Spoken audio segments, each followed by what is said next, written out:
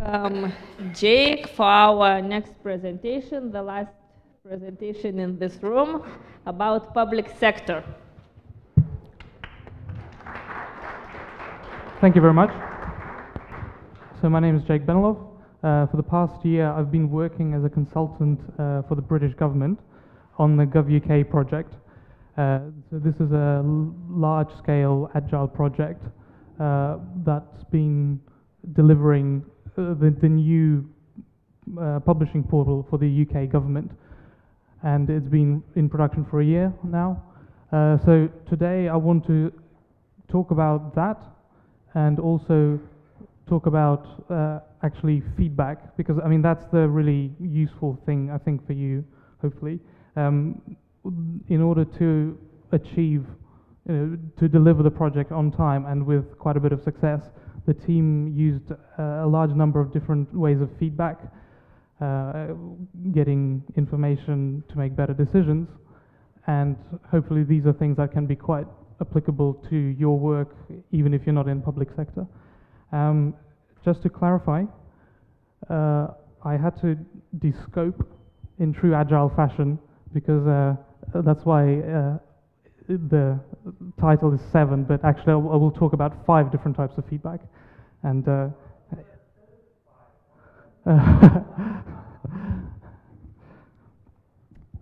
so let's start. Um, so the story of GovUK starts in 2010, and uh, UK government publishing, central government publishing, is in a bad state.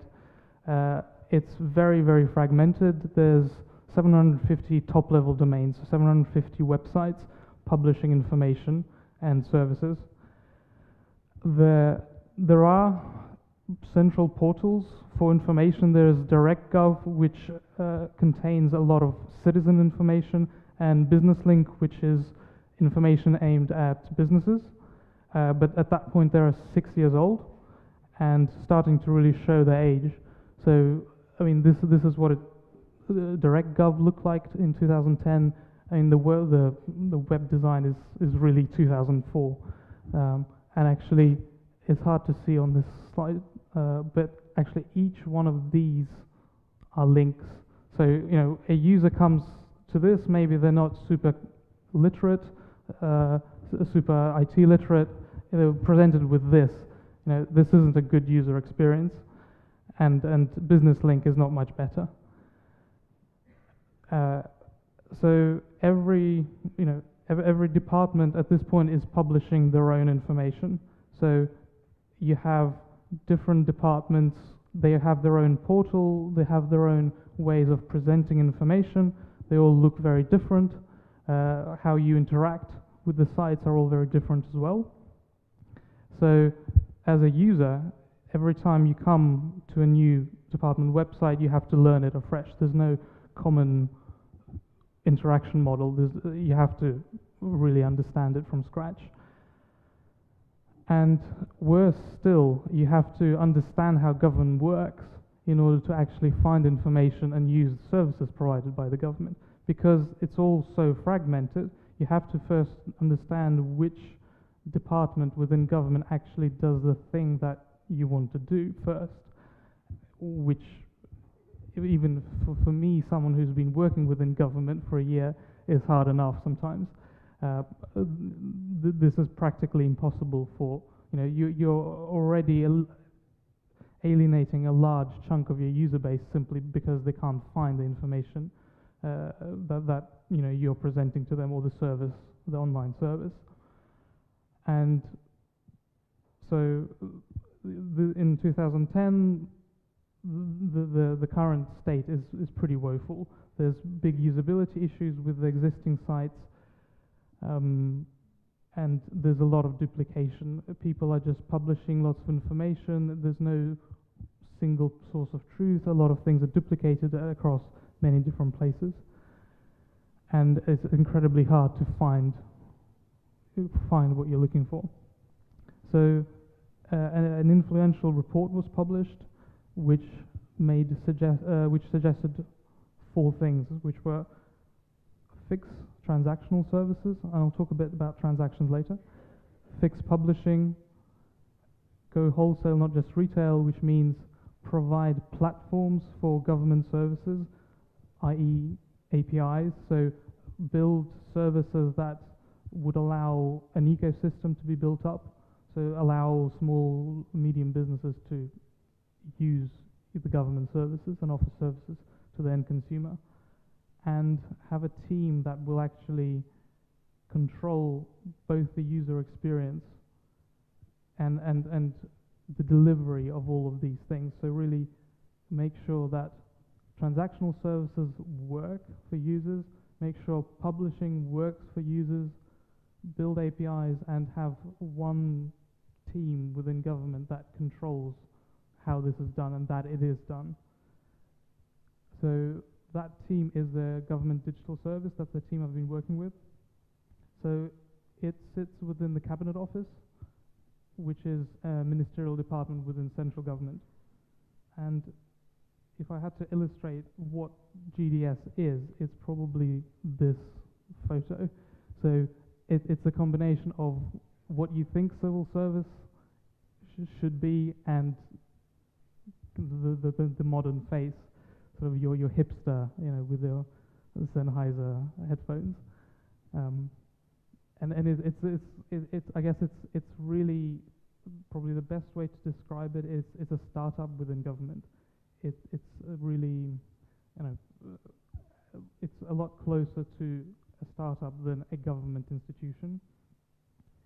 And so the team has built GovUK. So this this is the site, the the central portal that's been running for a year now. So GovUK is is the the entry point. It's it's designed to be the entry point to government services and the single point uh, for government information. So as a user, you shouldn't have to understand the structure of government anymore. You just come here, and then this should guide you to anything that you want to do. Also, more importantly, it's, it's, a, it's designed to be a single brand. So once you've learned how to interact with GovUK, you shouldn't have to relearn it whenever you have anything to do with government. So the, the brand aspect means that the team's coming up with patterns that will be, you know, patterns that work. So they make sure they design the patterns, make sure that they're working, and then try to somehow create standards that will mean that those patterns are branded across everything that government does. So if you're, um, you know, if you come to GovUK, any service on that domain might be run by different bodies and agencies, but it should have the same way of interacting with it. Uh, the, the user shouldn't have to learn new every time that they, they, they come to a new government website. So in October of last year, GovUK replaced Direct Govern Business Link. Uh, so this was a pretty large project. Uh, I think I don't think we exceeded 100 people, but I think it was more than 50 people working on it at any one time. Um, so one of the first things that the team did was create a big list of user needs. They, they went through all of the content on the existing sites and try to identify what need they were fulfilling. So they identified 1,800. This was whittled down to 700 plus. Uh, completely redesigned, rewritten user needs. So in the first six months, 188 million unique visits, and I mean, so th th this is this is the current production site. This is the new face of of GovUK. Um, since uh, uh, so up um, since October, 24 ministerial departments were turned off. So I, I, sh I showed you the number 750. So that is trying, you know, we're trying to con to condense that and bring everyone onto the same common platform to reduce all that uh, duplication and wasted effort. So the the ministerial departments they so I'm showing you the new websites for the sites that I showed you earlier. So now you can see there's a much more common look and feel. There's also this permeates through down to the the style of writing, how information is presented. uh, it, it's truly designed to be a brand. So how people communicate with the the citizen, the end user, is branded and should be much more uniform now. So one of the things that GovUK does differently to the previous platforms is uh, trying to adopt a wider range of formats. So for a given piece of information, there are several ways how it could be presented.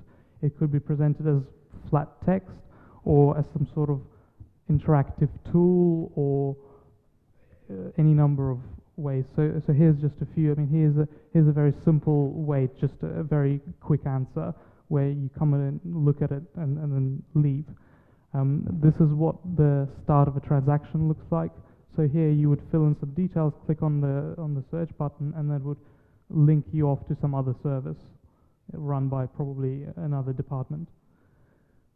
So here's uh, more complex use cases would probably be displayed in a guide. So you've got sections of the guide here, and then you've got more in-depth information presented in this way.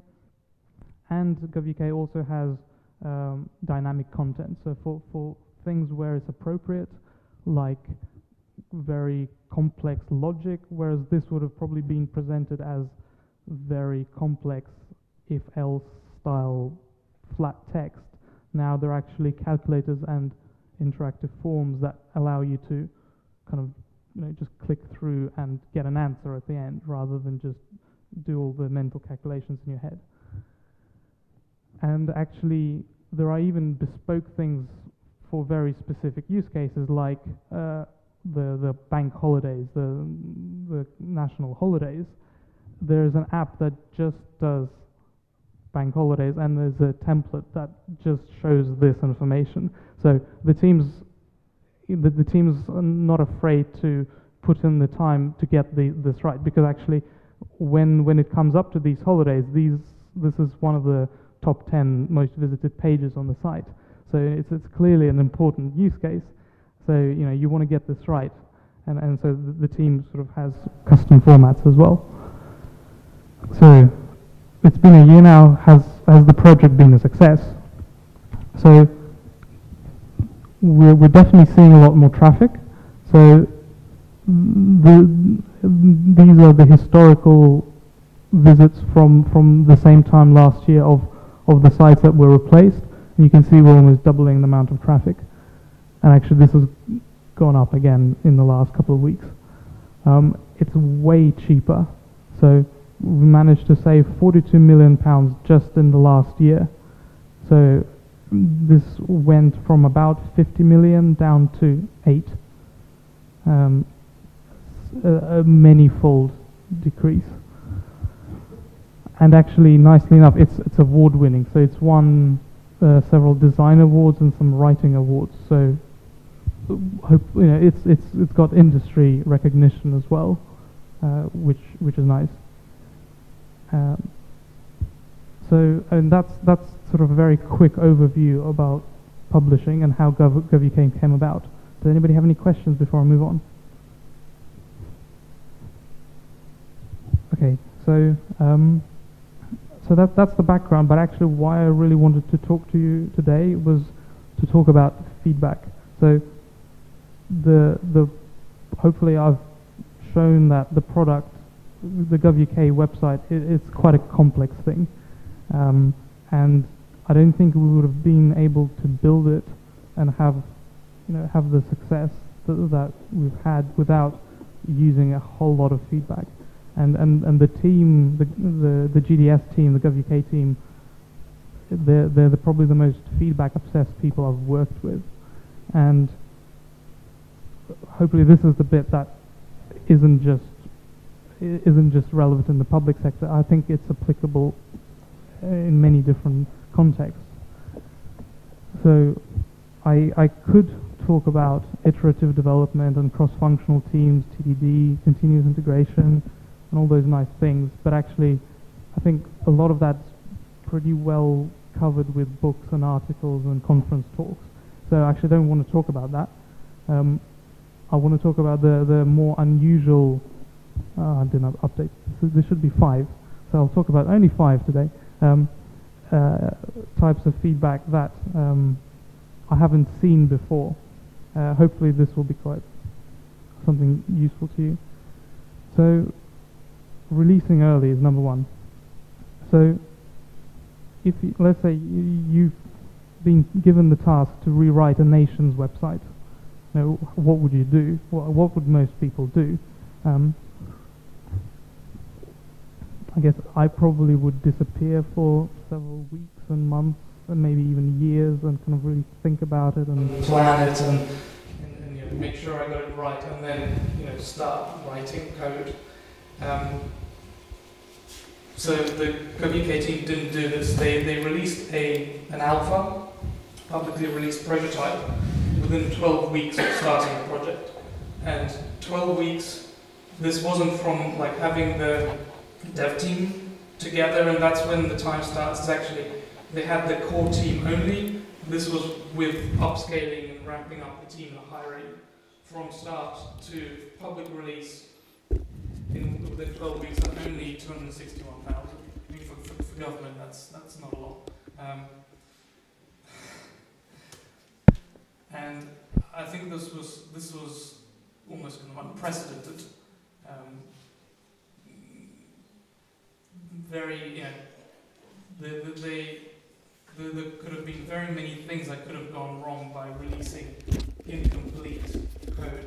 And I mean, within 12 weeks, you can't, you know, you, you won't have built something that fulfills a, a purpose, a, a, a functional purpose.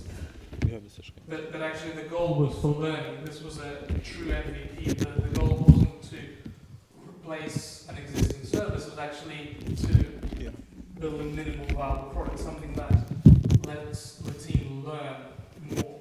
And, and that's exactly that's exactly what it helped the team to do.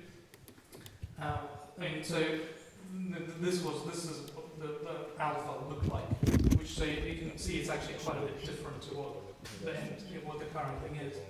And I mean, it, it was really bare bones. It was just barely there. There, there were maybe you know a few bits of very important information, but it contained almost no content. But it was still enough to, to kind of release this and have people look at it and have people access it and, and react to it. And this provided an incredible amount of feedback and information for them. And obviously there was also a lot of room for it to be misinterpreted. So, and, and it was misinterpreted. There were people who were saying, hang on a minute, this is broken, this doesn't work. And, and, and the team kind of had to almost do a mini PI exercise to say, well, you know, this isn't finished, this is designed for learning. Um, not, this isn't a finished product, we, we know it's missing bits. But even given that, the releasing this early, the, the benefits that the team gained from having done this you know, way before many other teams were released, that, that gave them the, uh, enough information to iterate and improve so that pre, uh, the subsequent releases didn't suffer from the problems that this one did. Uh, so so in the, the timeline was 12 weeks for uh, to release the alpha, and then there was some sort of period afterwards to gather feedback. Then there was actually a ministerial decision taken, because this was the alpha was a checkpoint to say, okay, do we now proceed with this, or do we actually cancel the whole thing? Um, which presumably uh, wouldn't have happened in the past as well. Either you, know, you completely replace something or not. You know, the, the, the team presented the minister in question with a, a way to not have to commit full in before really pulling the previous thing. So after the alpha was was greenlit, the next stage was the beta. So this took a few more months. This wasn't as quick as the alpha, but so the, the, the beta was released several months after the alpha. And uh, it was still a prototype, but I mean, this was the public site. It was still a prototype, but it still um, contained now most of the content and most of the tools that would then end up being as the live site. So this was somewhere in between a prototype and a finished product.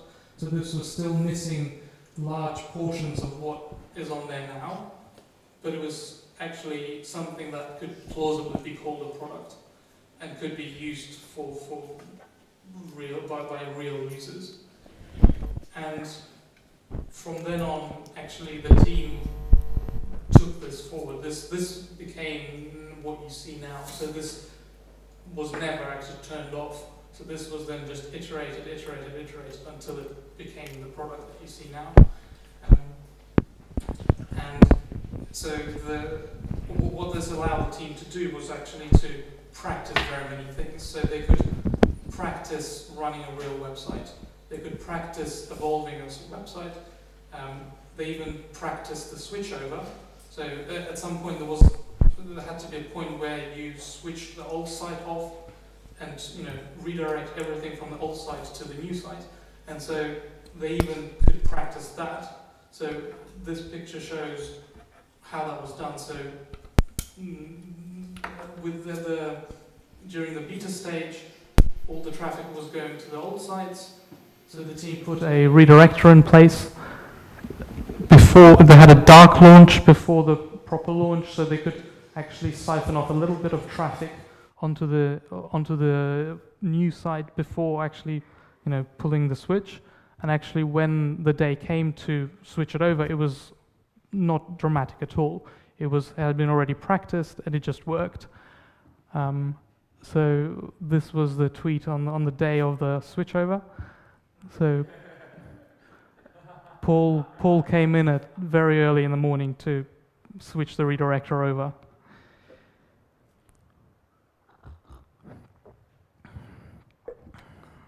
So number two, product analytics. So one of the one of the rules, uh, one of the main rules in the in the style guide, uh, sorry, in the design principles that GDS has.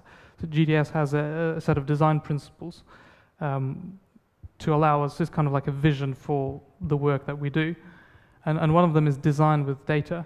So when you know when you're a little startup, you have no customers. Designing with data may be trickier. You know when when you have you know 60 million end users and you know you, you you can't really complain that you don't have enough data. In fact, you've got the opposite problem. So you have almost too much data. Um, and so, I mean, the anal analytics, like web analytics, is, is a great tool that the team was able to utilize to make a lot of the very difficult decisions uh, during the course of the project. So before launch, like while the migration was happening to the new site, um, the team could look at the analytics and say, okay, which content belongs on the new site at all. So we, we had the, you know, originally we had the problem with lots of duplication and lots of confusing content. How do we decide of the 1800 things, which ones actually get moved across? Well, okay, so we can pull up the analytics from all of these old sites and then see who's actually accessing this. Is anybody reading this content? Is this useful for anybody?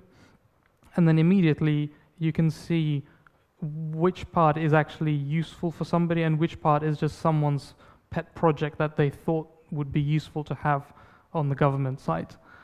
And I mean, having this data simplified a lot of very potentially very tricky conversations because obviously you're sitting there, you know, with an axe chopping, you know, people's hard work. Uh, this was sort of evidence, so you could say, bring me the evidence that this content belongs on, on the new platform. And if you can't provide it, then it doesn't come across. Another thing that the web analytics was able to provide was actually uh, nuances around the specific user needs. So in order to be able to understand and group and categorize the content, um, I mean, it, it's quite tricky. There's very many different cases to consider. So what the team did was they took search data, um, they took data coming in from Google um, about what people are actually searching for when they landed on, on, on these government pages. And actually that allowed the team to then uh, really refine and group things together so just even looking at popular search terms allowed them to have a better insight into what the people are actually wanting to do.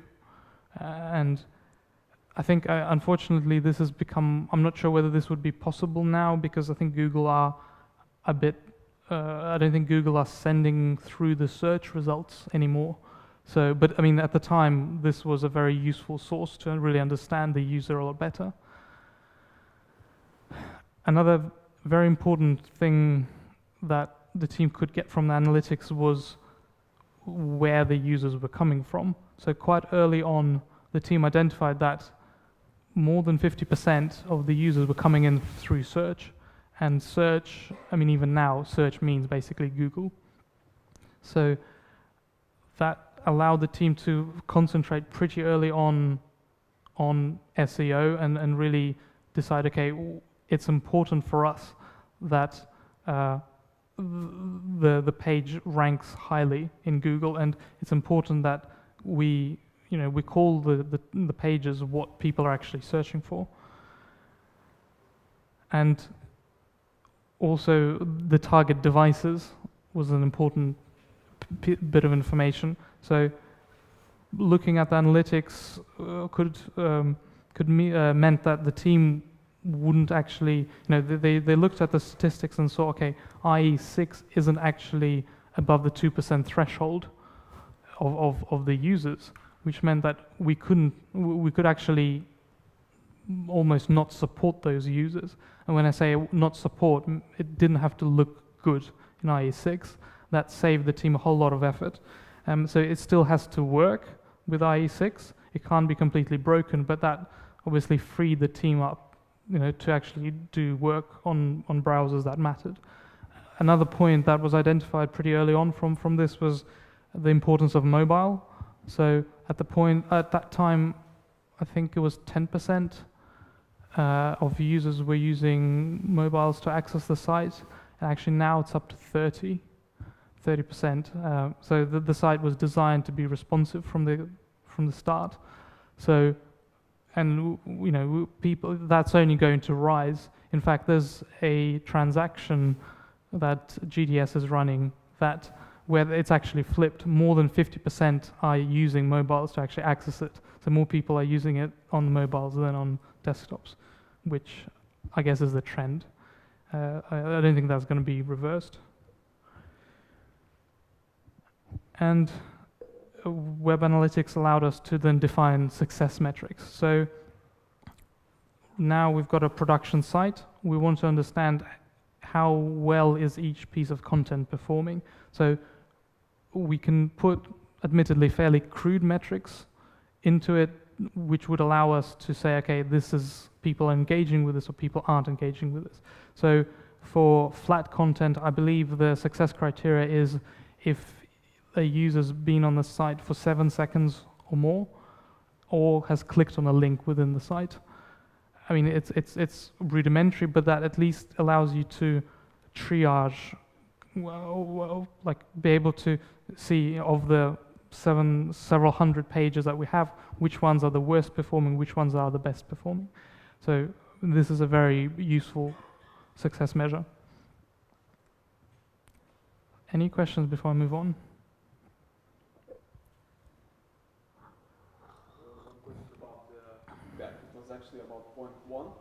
Sure. And as I understand, the, the beta launch was launched publicly. So what tools were uh, used to gather customer feedback from the public audience? Sure. So the question was which tools were used to gather feedback from the public. Um, so, I mean, there was the obvious talking to people. Uh, I think part of it was actually, you know, showing it to other people within government. Um, there were ways to there were ways to comment on the site. There were things like get satisfaction.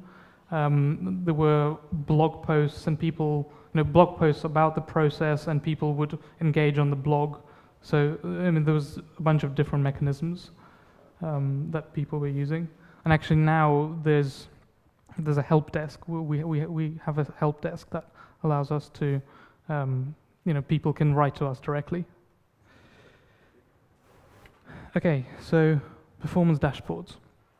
So I showed you this, uh, this graphic already. This is actually on the live site. Th this isn't sort of a custom graph. This is something that uh, is on the live site and is updated daily. Uh, and the GovUK team actually has a team of people who work on visualizations and work on ways to present the data in a very clear manner. Uh, I mean, one thing that I really like about this is is how it kind of they, they don't overload it with too much information. So these things are aimed at telling a story rather than providing you with the maximum amount of information. So here's, here's the dashboard for the content quality. And I, so I, I mentioned the success criteria for, for content. So uh, this visualization allows you to see which content is gets the most views. Uh, so you have more views here, lesser views here, and you've got engagement. So the most engaging content is here and the least is here. And so, I mean, this doesn't pack a lot of information, but the nice thing about it is how it's you've got your quadrants. So if you've got content in this area where it's got lots of views and people aren't engaging with it, that's an area of focus. So I think this is quite a powerful feedback mechanism because you can kind of have people look at this and you know it tells a story quite quickly. Um, and as, as I mentioned, the, the GovUK team has a team of folks that are working to present information or trying to present information in a very clear way. And I mean, this is this is going to be developed more and more, and more metrics will be published on the live site about all of the services that GovUK is hosting. Uh, so I'll probably skip this one. Uh, I'll talk about uh, user research. So the, the product analytics gives, gives the team a good, a good uh, picture of what is happening, but not necessarily why it is happening. So let's say people aren't engaging with the content. We can see that from our tracking. How do we figure out why that is? So this is where user research comes in. So there's a team dedicated to finding out, you know, working with users and understanding, putting, you know, themselves into the mind of a user. So in the life cycle of a product, there, there's a bunch of different activities that this team does. So early on, it's, it's, it's quite sort of in-depth. It's like, it's research, you know, very in-depth studies of users and trying to understand and, and present that information back to the development team. And once there's code live, or once there is code, it's just testing, testing, testing, testing, testing. So one of the probably the most important things that the user research team had, has been doing with GovUK is lab testing, which means bringing people into a laboratory environment where they can you know, they can show them parts of the site or give them tasks, have them in, use the site, and then measure what are people confused about, where are they going, where, where are things going wrong, and then immediately ask them, you know, what were you thinking here? Why, why did that? You know, why did you do what you did? So the homepage was an area that actually went through many different iterations as a result of user testing. So in the first iteration, so this was the alpha, and for the beta, th this was this was the the beta homepage, and actually, feedback from users was that this looked like a domain parking page. So uh, that wasn't exactly. It's not exactly what you want to hear if you're you know building a trustworthy government website. So that was changed um, to this. This was the next iteration. So I guess this looks less like a domain parking page now. Um, the feedback on this iteration was that people didn't really get these icons. And actually, the, I mean, the, the page was very sparse, but that wasn't necessarily a good thing. People, you know, the, the homepage didn't really give people a lot of information. Another fairly major problem was this focus on search. So initially, the designers were really, really in love with sort of the idea is like Google is your homepage. So you know, you come to gov.uk and then you search for what you want, and you know you find it. Actually, what user research found was that the people who were comfortable with search would just use Google. They wouldn't even come to this. It's actually the users that weren't comfortable with search. They wanted to have something that they could actually browse and so uh, also combined with the fact that the search was a bit crap, um, this was a bit of a disaster. So uh, this was the next iteration, so you can see the, the categorization is starting to creep in, and the search is kind of getting a bit de-emphasized. So people like this, this was, this was more liked, but actually, because a lot of the categories were below the fold, people, the feedback was, actually, I want to know more, and I don't have a full picture of what the site does. So it was redesigned to this. So search is now completely de-emphasized. And you've got the, the categories here. And this is actually, yeah, th this is pretty, this is what went live. So th this was the production version. So all of these iterations happened within the beta. Um, this was just testing, redesigning, testing, redesigning, testing, redesigning. Had the team not released this publicly, they wouldn't have gotten all this feedback probably.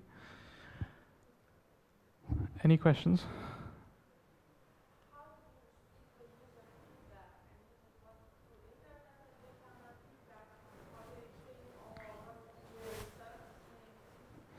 So the question was how uh, do we, how, how did the team receive user feedback?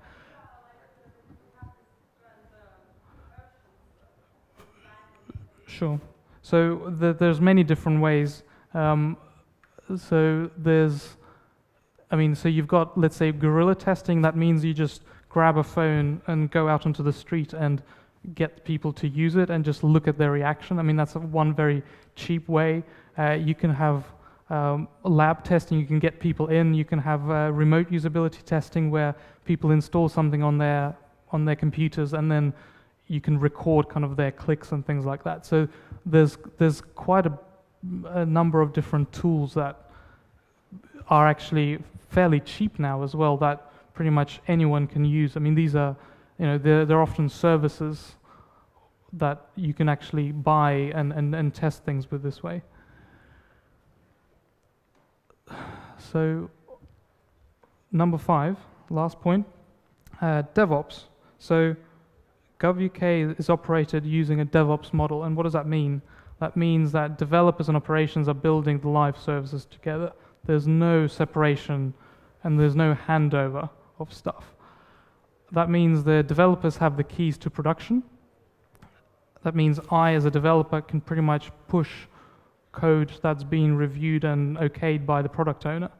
No one, there's no production team that will stop me from doing this on the flip side, the operations aren't responsible for fixing things if I break them. So, you know, if I push something crap, I have to go and fix it.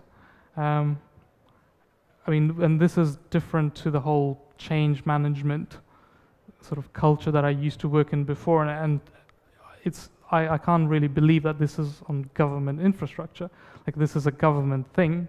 Um, it's great. It's it's like the best environment I've worked on because it makes things like this possible. So I, I, was, I was coming into work on the train, I had an idea, I, I coded it up, um, I talked to my product owner, got a code review, had a quick test on, on our preview and staging environments, and got it pushed out by 1020.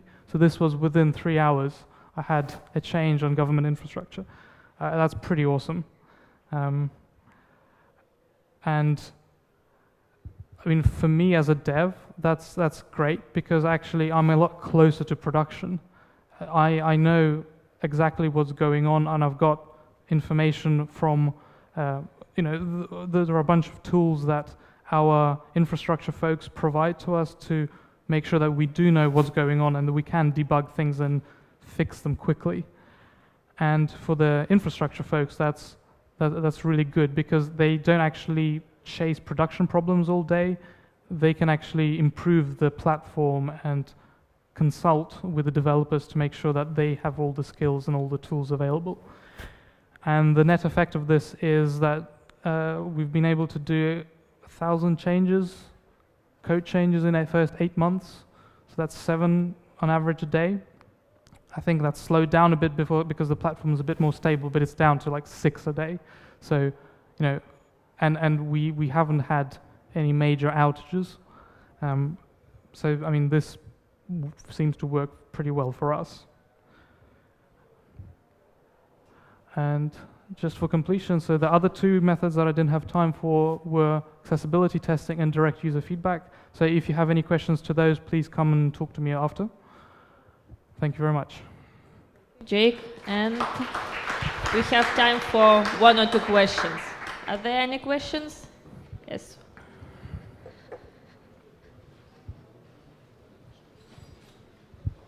Would you try doing same stuff on, let's say, internet banking application? Uh, yes. I think so. I think we wouldn't be quite so blasé with releasing on an internet banking application. However, I think it's still possible. So it's true that if stuff breaks on, on an information website, um, it's not the end of the world. And actually, the, the way we've architected it, you just get stale information. So it's, you know, the impact to the user is generally not very high. I would still do this on a sort of a, something that involves money. Um, it's just you have to have more tests. Okay. Okay. Last question from Vaidas. How did government made this happen? I mean, how did it all started? I'm just thinking about the standard government organization says we need a new website to, to migrate all uh, all our to one organization to one domain. And okay, let's do it in a startup way. That doesn't sound right. So how did this happen? Okay, so I think the history was there was a very influential report published that caught the eye of a minister.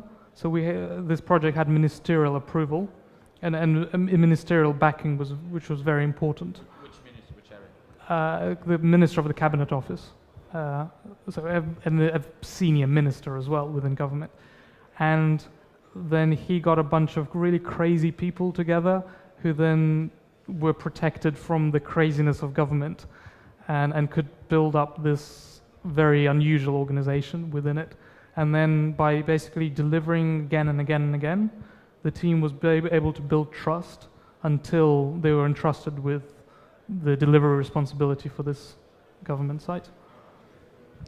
Okay, so thank you, Jake, for the presentation about the government. And here, small present from us. Thank you very much.